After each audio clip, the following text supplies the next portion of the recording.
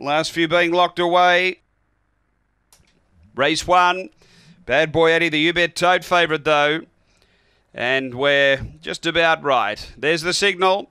Late mail the two. Bad Boy Eddie, we're ready to go. Race one. Set. And away.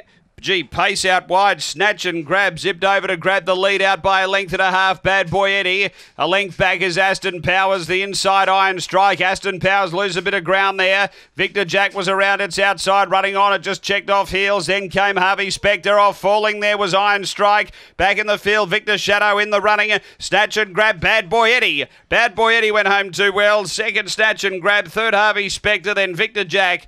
Uh, next is Aston Powers from uh, behind those, Victor The shadow.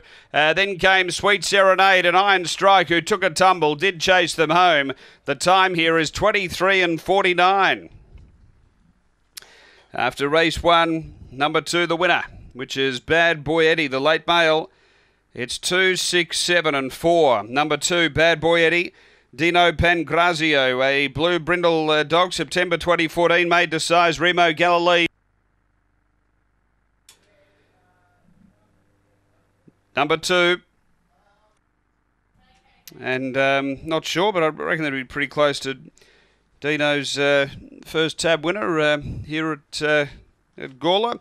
Uh, second going to six, snatch and grab for Trevor Jessup, who had really good early pace. Black Bitch, July 2014. Paddy Wacker, Corborn top, and third to seven. Harvey Spectre, Kim Johnston, Black and White Dog, January 2015. KC and all, Sally Brown.